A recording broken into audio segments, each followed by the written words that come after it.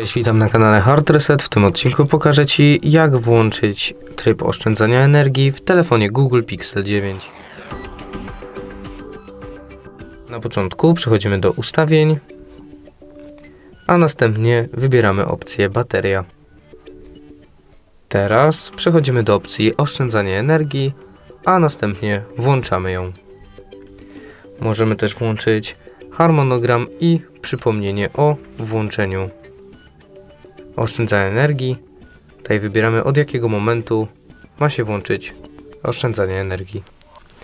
Możemy też włączyć lub wyłączyć opcję, która wyłączy tryb oszczędzania energii, gdy telefon będzie miał powyżej 90% i możemy wyłączyć lub włączyć o przypomnieniach z oszczędzania energii. Jeżeli wideo było dla Ciebie pomocne, zostaw łapkę w górę oraz subskrypcję. Z mojej strony to tyle. Ja się żegnam. Cześć.